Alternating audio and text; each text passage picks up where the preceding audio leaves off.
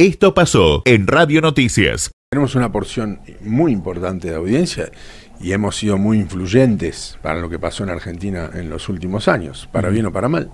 Ha sido un medio muy influyente.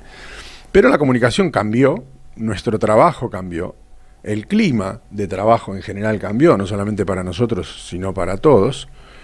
Y la comunicación en general no es tan práctica como lo era hace cinco años, seis años atrás, no tanto tiempo, donde una corporación tenía un dueño, el dueño daba un mensaje, el feedback era menor.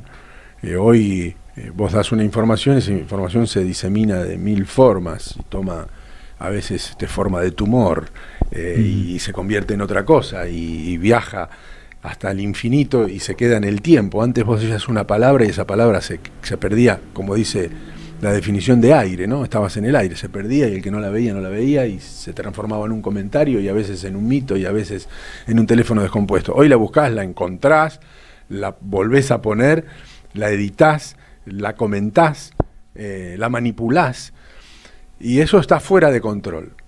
Eso es lo que yo entiendo. Las corporaciones inventaron un monstruo que hoy no pueden domar tan fácil. ¿Viste? Es como el gaucho cuando sube al caballo, lo conoce, qué sé yo, pero no lo puede controlar. Y hoy estamos en una etapa de ver qué pasa. Me parece que, solo por citar un ejemplo, que una red social como Twitter se dé el lujo, más allá de lo que diga, ¿eh? no estoy poniendo en tela de juicio lo que diga, pero que Twitter le cierre la cuenta al presidente de los Estados Unidos, te está diciendo algo ni loco, hace unos años alguien se hubiera atrevido a callarle la boca al presidente de los Estados Unidos.